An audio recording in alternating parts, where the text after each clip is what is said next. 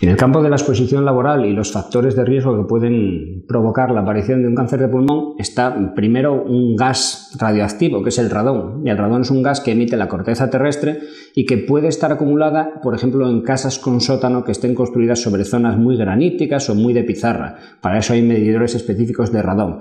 Entonces, la exposición continuada durante muchos años a este gas radioactivo podría provocar la aparición de un cáncer de pulmón. Luego otras sustancias que se dan en el entorno laboral, pues los, asbestos, el arsénico de fabricación de azulejos, de cerámicas, de cementos.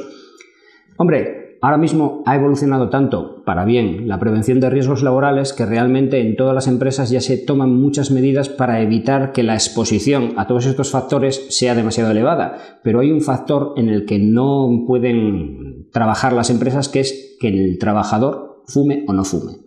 Si estamos en una empresa que fabrica mm, aire limpio, sería una hipótesis, no tendríamos ningún problema más que el añadido de fumar. Pero si fumamos y trabajamos en una empresa, por ejemplo, que fabrica cerámicas, azulejos, la exposición al asbesto más el tabaco se potencian. Es decir, vamos a tener muchísimas, muchísimos más boletos para tener un cáncer de pulmón. Entonces, en estos casos de exposición laboral sería importantísimo no fumar.